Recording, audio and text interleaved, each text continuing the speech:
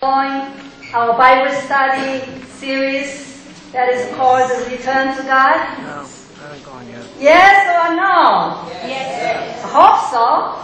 It's like watching Korean drama. It's a drama of Israelites, right? They are up and down, up and down. We know they're gonna get into trouble, right? And uh, this week's study is uh, uh, covered by whole chapter. As a matter of fact, it's gonna be supported by Judges chapter 5 too. See, chapter 4, Judges chapter 4 is uh, telling the history of what happened. And chapter 5 is retelling in a poetic form what happened. And we call it what? Uh, Song of Deborah, right? Remember Song of Mary in the New Testament? And this is Song of Deborah in the Old Testament. And it just proclaim God's power, God's majesty, God's love and grace all over. And what, how God is good to us all the time. Amen? Amen. And so as we look at this passage, to make a long story short, and Israelites did evil in the eyes of Yahweh again, right? Therefore, they were attacked by the enemies, and especially this Canaanite Jabin's army troop that Sisera was uh, leading. And they plundered their nation, the Israelites, for how many years? 20 years. Now they say, finally they say, we had enough. The, the, the suffering we cannot bear anymore. Oh God, help us. And so, God, in His grace and His mercy, forgave them without saying anything, right? Forgave them and raised who?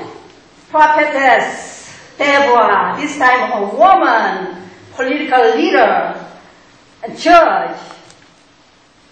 And she led man and his troop, 10,000 troops, to combat Sisera, and they won the battle, and they had what, how many years of peace at their land? We just read. 40 years. Amen? Now, so as you can see, always God's people live in God, not God. God never deserted them. He was always there. But his people betrayed God. They worshiped other gods. They worshiped and idols. They worshiped the God of uh, iPhones and God of uh, Facebooks and etc. Like a current generation do. You know, it's uh, so true. God is like a building. He is here. We are in and out of uh, His grace. We are in and out of His protection. When sun shines, we think uh, that's all our power has to do something with it, right? And when life is going well, we kind of take for granted. And we kind of slide back and do other things. And then when we do that, God's protection not going to be follow us. Then we get into trouble. Then we are like Israelites, come back to God. Oh God, I can't take this anymore. Please, please help me. Then God says, okay. Now you realize, now you realize that you need to be under my protection. You need to be under my blessing. You need to be under my prosperity. All right. You realize that. You came back. You returned to me. I will give you way. I will deliver you from your dungeon. Amen. That's what. That's why we say our God is good all the time. All the time. He's good. Now, you know, uh, this week's uh, study material, the title is what? Somebody shout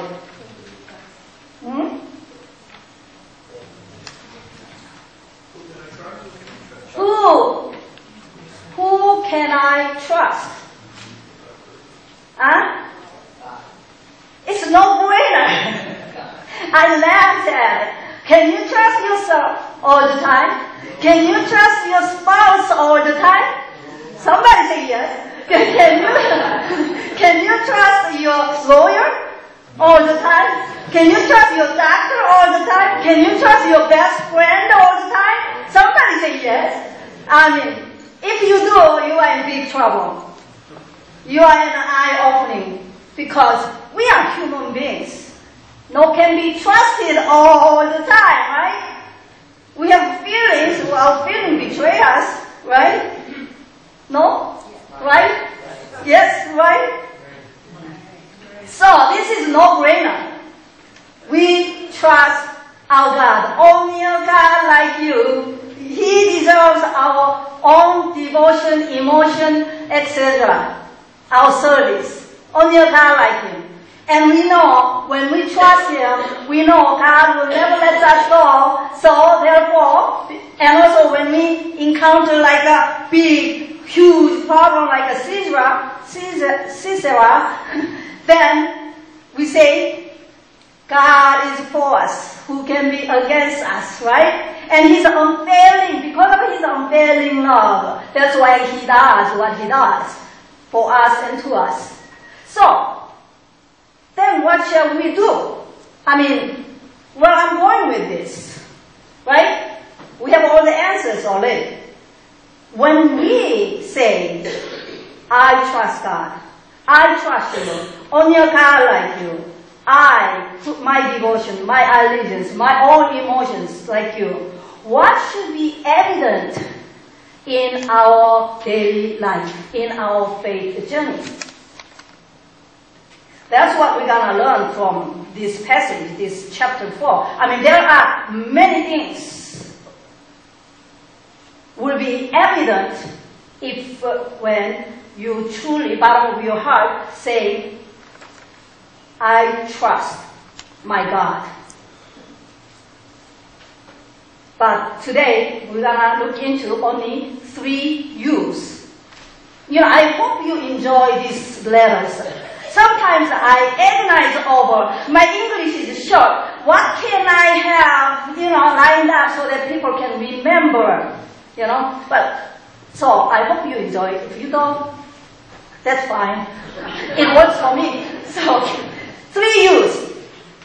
So if we say we trust God, only Him, then we forgot to. That's, this is what God requires of us in our lives. That's how we can return to God. Three U's. God, God requires of us having unconditional obedience. So unconditional obedience. Okay? Second you is um, uncontainable faith. Overflowing faith. Faith in action. Uncontainable faith. And then last one is what? Unfailing love for him and others. Alright? So you got it? If you don't hold these three, I may lose it. So keep in touch with me and just shoot out the messages toward me so I can repeat after you. Amen? This morning nobody is uh, really into sync with me. Too cold? No? Alright. So, what was the first one? Unconditional obedience. Alright. Look at this. From verses uh, 6, 7, and 8, 9, we get to know whole story about Barak. You know, his name is what? Meaning is uh, lightning. And he is uh, a general, right? And uh, Deborah went to this uh, general of uh, army troops that God said that you gotta go combat Sisera, and God will hand him over to you, to your hands. And then Barak says what? Hmm? If you go with me, I will go. But if you don't go with me, I won't go. Hello? You have 10,000 troops behind you. And you are a soldier, general, and God said He will give him to your hand. Why do you have to hesitate? Why do you have to do if then? Conditional obedience. So, Deborah says what? Verse 8 or 9. Deborah says what? Well, that's fine with me because I trust my God. So I will go with you. Because your conditional obedience, you will not get the credit. You go fight, you labor, you pour your sweat and your heart pounding whatsoever, you ain't going to get the credit. That's what happens, you know. If we say we trust the Lord God, we should go full force, unconditional obedience when God calls you to do something. Don't say, if my kids graduate, graduate, then I will serve you more, right? If you show me the money, I will give you money, or you promote me, right? Then I will. If then, if then, then it's never going to, if you, we were never going to experience God blessing our socks off. Halfway off, probably. Half obedience. You know, when God told me to drop everything, my life, my enjoyment, my earnings, to go to seminary in old age, seminary to prepare to be a pastor, I say no way, Jose, right? But, and I said what? If you show me the money, um, I was influenced by my husband, so I can put it down.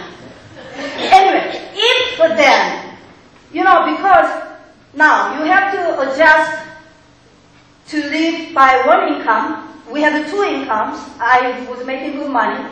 And now we have to uh, adjust one income. Our expenses never changed, right? And also, I was a woman, so seminary not gonna provide any scholarship. If you're a man, they know. Men drop their work and come and they, they are bread earners in the household and then they give them a bunch of scholarship, you know. But because I was a woman, they going to. So, guess what? $20,000 a year for four years. So, if we have a savings of $80,000 in the bank, we will go. I will go. I struggled with this for six months at least. And then when I finally decided to go, and my, we were kind of grumbling to have to pay the money out of our savings to get more education. My husband said, you don't need more education, you don't need more education, you fine now, you know. And then first year went by so quickly, and the second year, you know, it's, oh, I, I don't remember much. Second year, it was, uh, the, the seminary required that I should go uh, have a pastoral internship, not from, not uh, uh, in my home church. I got to go different church to experience what it's like being a pastor. So to make long story short, I was uh, ended up in uh, the 99% of a white congregation and uh, about 5,000 members. And then um, and then uh, the, that church had uh, eight different pastors. And my home church pastor kind of asked the uh, pastor to just sign the paper so that I look like I finished my requirement and then he can use me in his home church. Right? That's why, I mean, uh, the, the white church didn't, didn't have money to pay for me. So that's what they did. So I received the uh, paper the pastor signed it. So I said, since you signed this paper that I'm working under your supervision, let me work for you. And he goes, oh, we don't have money to pay you. That's fine. I will work for you. You see, it worked out that Korean church and uh, my home church was worshiping 2 o'clock in the afternoon. And uh, this uh, white church worshipped uh, 9 and 10 and it was three services. So from the morning I was there and then in the afternoon I, all day, Sunday is my church day. And then during the week I go to seminary and etc. During that time, and like Aha Pae'aina you call it here, but big Presbyterian meeting, that elders of representative of each church and also the pastors of each church uh, sitting on the floor like you, uh, about 250, 250 people sitting there examining my faith journey. You know, what makes you think you are called by God? What makes you think you can do, you know, etc. During that time, I uh, was talking about my faith journey and uh, how I was called to be a pastor, etc., etc. And now I'm working as a pastoral intern at Fields Church, and and so the uh, the elder who was sitting on the floor, he never knew me. He was a, the, that church member. He never knew me. And then pastor sitting next to him said, "You know, you should be shamed upon your church. I mean, shame your church." They never paid anything. There was a COM was sitting there. And this uh, elder was so touched by my testimony and so embarrassed that the church do not pay me nothing for my labor. And he went back and he talked to other, some people. And then guess what? They adopted me uh, as a mission case and they sent me uh, tuition scholarship. So I said, oh, praise God, you know. And then when I went back to uh, seminary following year, try to pay um, my tuition, I found out that it's all paid off until my graduation. Hallelujah. And the, the amazing thing is, I never get to know the guy's name that he did this by inspired by God. God raised him. It was anonymous. So I always give credit to the church. What if I said, God, you didn't show me the money, so I don't know. So I will do partially here, maybe 10 hours a, week I work for you, and I'll do the full time job, I'll be dead meat by now. Right? And it will take me forever. If that's God's will in your life, God's gonna carry it out in, until the completion, whether you diligently or you give him a, um, you give him a conditional obedience. God will finish what he set to go and plan. So, if we say we trust God, we better what? Trust God. Trust God. Then what is uh, your proof that you trust totally trusting God is what? Unconditional obedience. Amen. That's how you do it. Amen. We've got to render. And then second, what was it?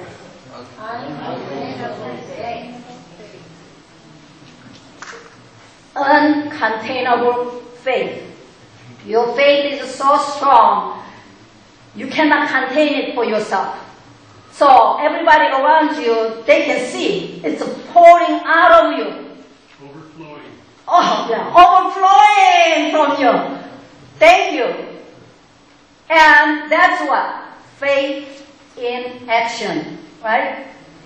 And let's look at about uh, verse 16 or so.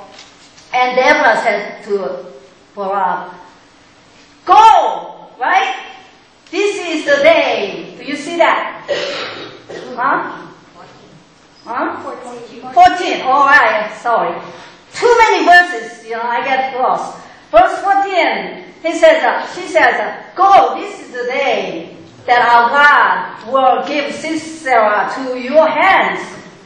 And then the craziest thing is, Barak went with his 10,000 troops. I mean, they were up here, right? They were on the mountain, and they saw the army with the 900 chariots, iron chariots, and gathering in a combat field down there, alright?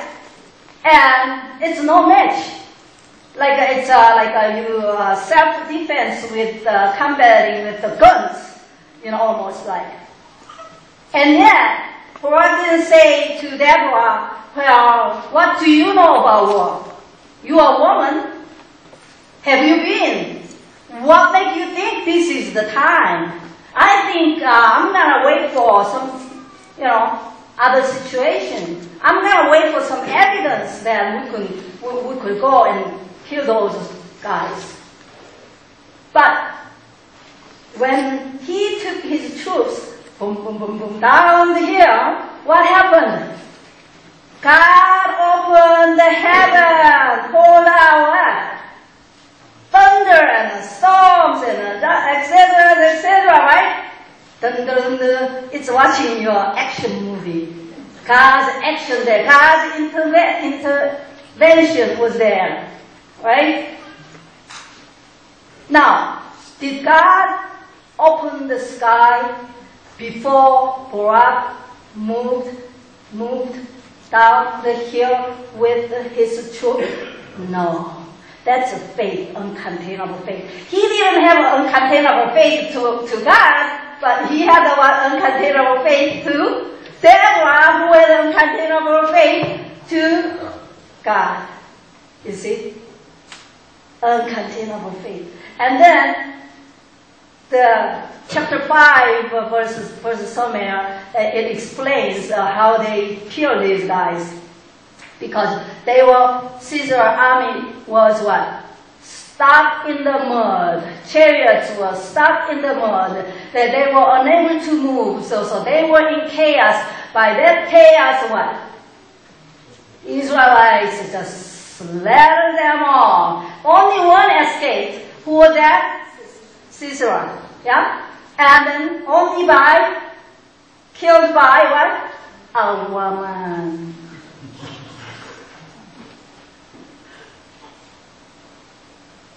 Praise the Lord. Praise the Lord! Who said a woman has no place in church? Right? Deborah and. Jael is uh, no one actually. You know, we never knew about her. We don't know her background. We only know she's a wife of uh, uh, the Eber and uh, Nomad, and she lived in a tent nearby, and that's all we know. But her name is in Hebrew.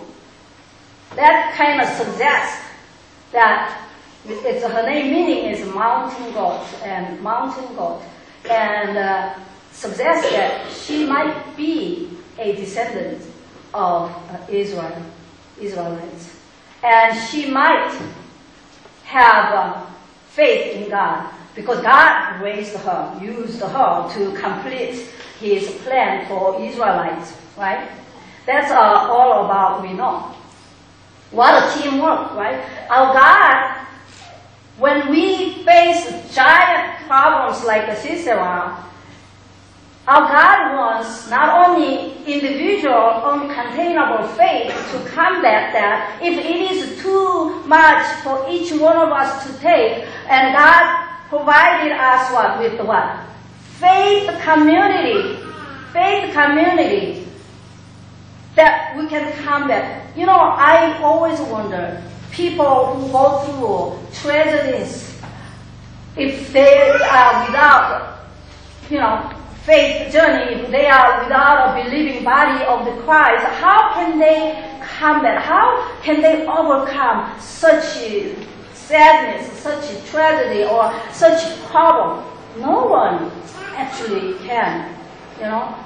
That's why it is important to belong to a faith community. It doesn't matter which community. It's uh, very important to for you to join in a Bible study groups And that's where you absorb the strength of others in faith. So that, you know, hearing the word of God, right, increase what? Faith comes by hearing the word of God. And either you come every church, every Sunday you hear the Word of God, you go to Bible study, you hear the Word of God, you meditate upon yourself, you hear the Word of God. That's how you can grow and grow, grow, grow, grow mature into um, uncontainable faith. That's how you can combat any problems, any big situations. And if we are all together in faith, we Caucasians are no match. I mean, nobody is a match for us. I mean, we gonna be mighty soldiers of Christ. No Sisera can overthrow us. Amen?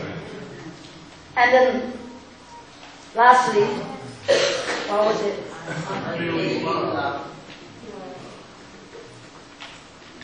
Um, so when we say we trust God, we've got to have a express unfailing love for God and others. Now, I say Deborah had unfailing love for God. Then you say, you ask me, how do you know? How do you know? How do I know? Because she obeyed God's voice, God's command. You see, Jesus said, John 15, 14, right? If you love me, you will obey my commandments. So she fully obeyed unconditional obedience she provided, right? Then show the proofs that she has unfailing love for her God, right? And she was, she had uncontainable faith, and we know she has had what unfailing love because when you love somebody, you love to please somebody, right?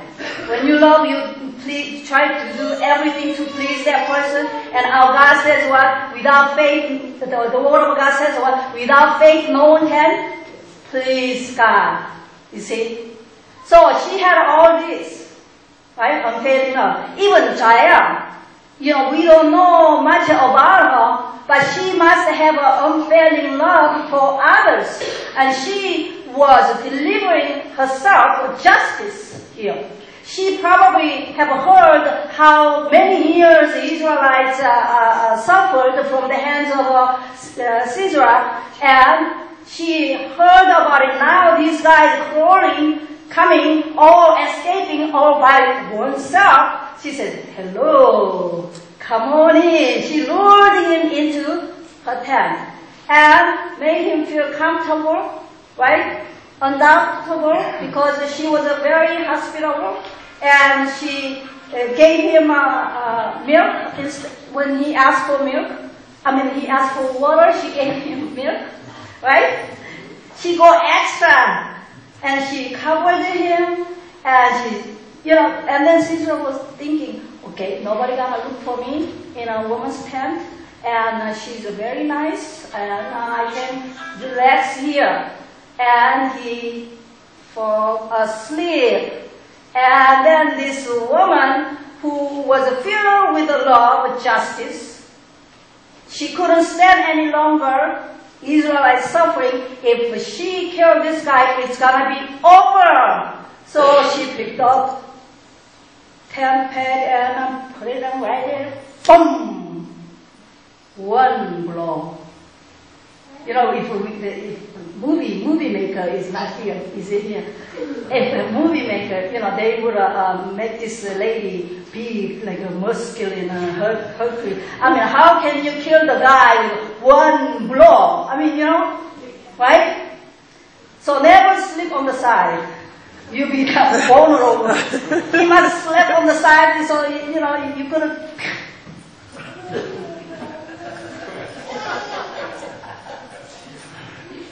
Now, it's gruesome. And uh, you can see the similarities in uh, last week's lesson. Ehud stabbed Amnon and his belly, one, one, one blow that was done, right? Right on the target. And this girl just, can you imagine, go lay, I mean, go nearby this guy? I would shake. I can't even nail the, um, no, huh? hit a nail without hitting my hand. You know? So this, what does it tell us? Why God took this gruesome image that we need to ponder? Eglon represented sin in our lives. And Sisera represents sin in our lives.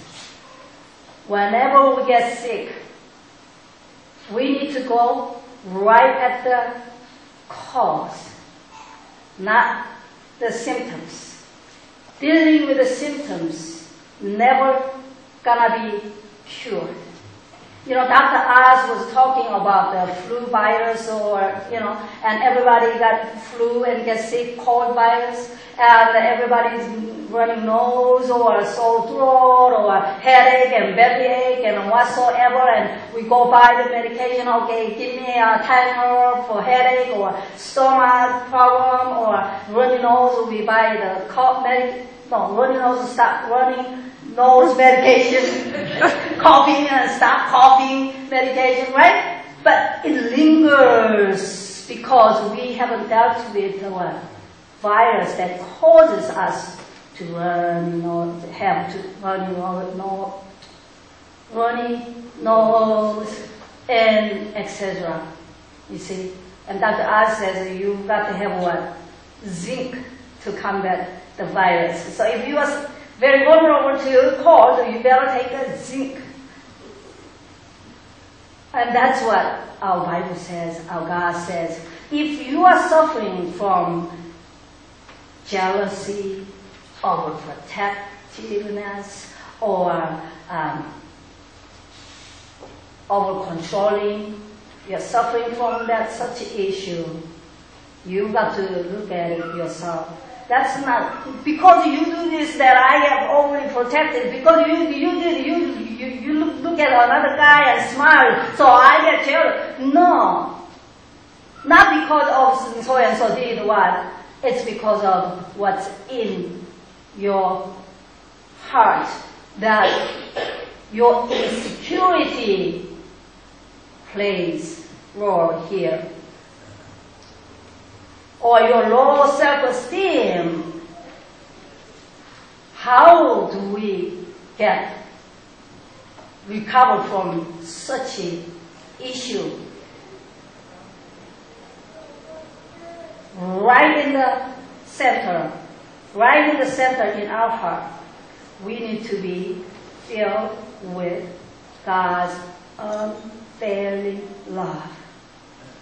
You know, we think we generate that love. It's originated from Him. We love God because He first loved us. So if we don't get this love, we have emptiness in our heart. And that emptiness makes us vulnerable to any attack. Anybody, even kids, they feel unloved they act out. You don't give them attention, they act out. See, they want to feel be loved so much. And we need to feel that. We need to feel that. How do we feel that? Dig into the Word of God and be in fellowship with the Holy Spirit. The Holy Spirit lives in us, will reveal to us when we study the Word of God. Don't go chasing after in the air something, right? It's in the Word of God. How many times? That's why Jesus talked more than anything about love. When we have an unfailing love filled us, then we can soar like an eagle. Because His Spirit lives in us.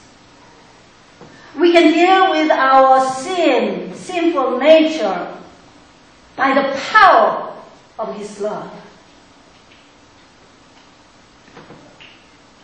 Even though we fail, we know God's love gonna lead us through, correct us, so that we go with the full obedience, unconditional obedience, and uncontainable faith. We say we trust only God like you. We've got to be filled with His love by His Holy Spirit. Amen? That's how we can win this battle. That's how we can return to God. As we look at this uh, study after study, this is a, a Israelite pattern. This is our pattern too.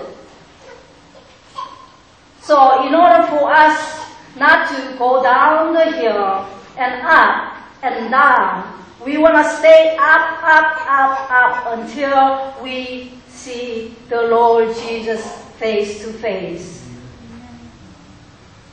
We've got to, we say we trust the Lord God, only God like you.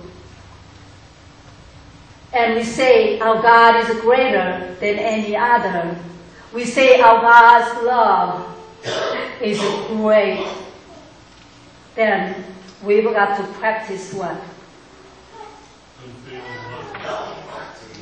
Three, use unconditional obedience, uncontainable faith, and unfailing love in every day of our lives. As our New Year's resolution, New Year's resolution, one of them is what? In order for us to be obedient, in order for us to have a faith, in order for us to love God, we've got to let God have His way in me every moment, every breath I take. Amen? Amen. That's how you return to God. That's when God's going to bless our socks off. Amen? Amen? Let us pray.